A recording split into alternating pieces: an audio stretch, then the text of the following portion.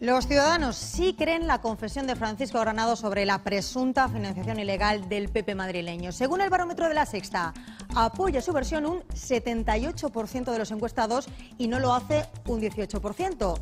Si preguntamos a los votantes del PP, pues atención porque casi un 40% cree que el partido madrileño sí se ha financiado de manera irregular.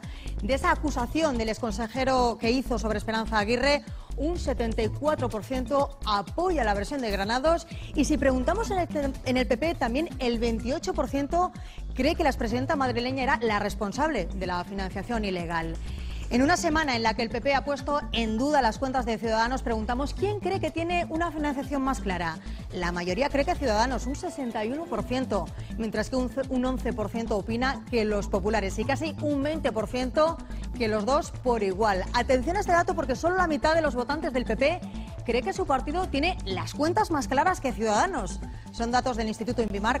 Granados es muy claro al señalar quién controlaba absolutamente todo lo que pasaba en el PP de Madrid. El PP de Madrid siempre se ha dirigido desde la Puerta del Sol por parte de la señora Aguirre y del señor González, y no sé si por este orden aunque insiste una y otra vez que él no tuvo nada que ver, afirma que las campañas electorales de Esperanza Aguirre tenían una financiación paralela y aporta el nombre de las empresas implicadas, como la publicitaria SWAT o Licuas de Joaquín Molpeceres, ya conocido por Gürtel y por aparecer en los papeles de Bárcenas. Ahí la, empresa eh, muy afín al canal, muy afín al señor González, muy afín a la señora eh, Cifuentes, igual con el señor Molpeceres un dinero que, según Granados, desviaban de empresas públicas de la Comunidad de Madrid como el canal de Isabel II, Promo Madrid o IMADE a través de sus gastos en publicidad. Esos eh, organismos que eran los que más, por su propia naturaleza, podían destinar a publicidad, eran los que, en mi opinión, eh, desviaron parte de, ese gasto de publicidad al refuerzo de la campaña específica